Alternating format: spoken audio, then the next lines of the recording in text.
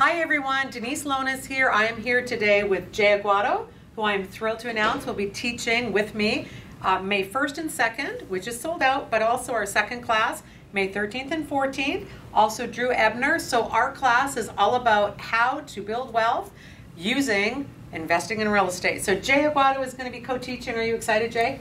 Super excited. We're going to be talking about different investment ideas. We're also going to be showing you how to analyze properties. So it's just going to provide you with a wealth of information that day. And we're really excited because we're going to talk about, uh, Jay and I are going to share our success stories. We're going to talk about mistakes we've made. We are going to also talk about how do you get the money to invest in real estate.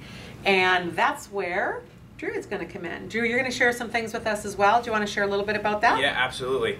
So, kind of some of the misconceptions right now is that it's tough to get into investment type uh, investments right. with real estate. It's really not. There's a lot of different ways to take advantage of the market, other people's monies, and we're going to dive into it uh, May 11th and 12th. May no, May 13th and 14th. 13th and 14th. There you go. We're so excited about it. You want to come a day early? Yes. That's okay. But here's one thing I want to say, really important.